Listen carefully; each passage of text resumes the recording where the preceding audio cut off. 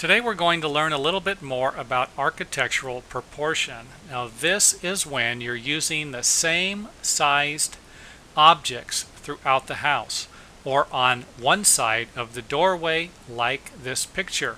The side lights on the doors are the same size. That's in proportion with the windows. Next on the list are the doors. The two doors are equal sizes. And this is common. You usually aren't going to have a three foot door and a two foot door, um, especially on a French door because the window panes aren't going to line up.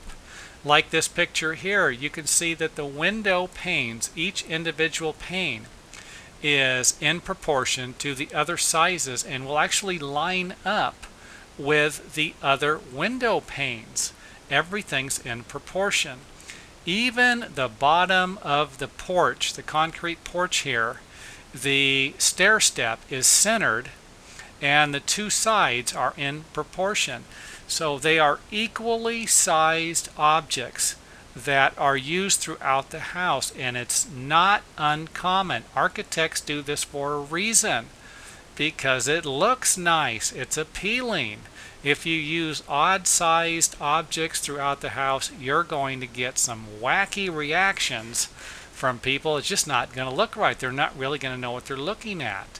So um, take a look at your home or other homes and see where the proportion works and where it doesn't work throughout the home. See what you come up with. So that's about it for architectural proportion, but it is something you need to know about.